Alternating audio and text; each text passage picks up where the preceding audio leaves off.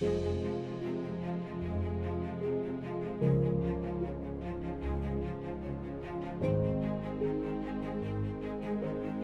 guys, today is day number 13.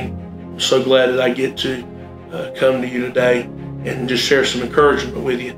Today is Wednesday, and uh, I don't want to come to you and not remind you that today we have uh, service at 7 o'clock here at Remnant Church.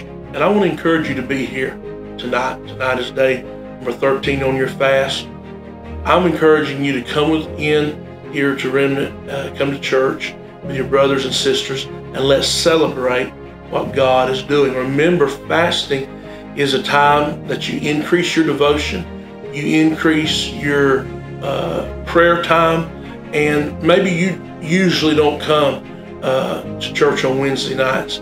I would encourage you to be here with us and let's celebrate what God's doing. Hey, we need you, you need us. Let's come today and worship God together. Be encouraged today. Be blessed. God is working on your behalf. See you tonight.